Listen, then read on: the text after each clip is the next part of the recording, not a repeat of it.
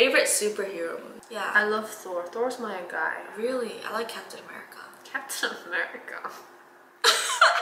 왜? 뭔데? no, no, no. I'm sorry. Wait, Deadpool is Marvel, right? Yeah.